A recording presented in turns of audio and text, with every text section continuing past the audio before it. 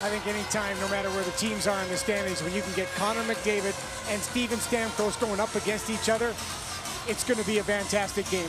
It comes to McDavid. McDavid to Draisaitl. Strome on the far side We'll get it now. Snaps it towards the net. Deflected. Score. Connor McDavid. Power play goal. The Oilers have a 1-0 lead.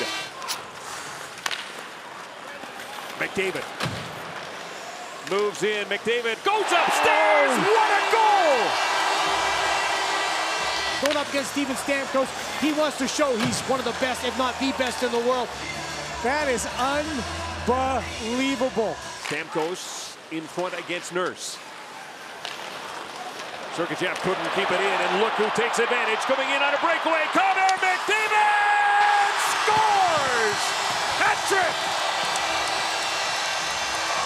His third career hat trick. And they are flooding the ice with hats here at Rogers Place. We've seen Connor play some special, special games. We've seen Connor just wow us. I don't know if I've seen him play better than he has tonight in this game. He certainly came in here wanting to prove a point, going against one of the guys he watched when he was younger in Steven Stamkos.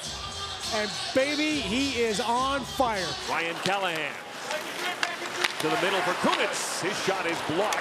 And the Oilers come back. Draisaitl and McDavid. Draisaitl across to McDavid. Domingue got the pad down.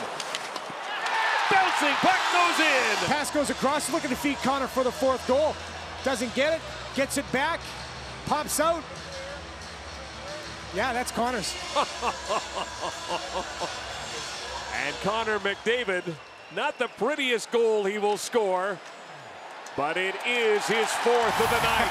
Fans are loving it here. 13:49, the time of the goal. Connor McDavid, 20 goals on the season. He's got 40 assists, and he's got a five-point night.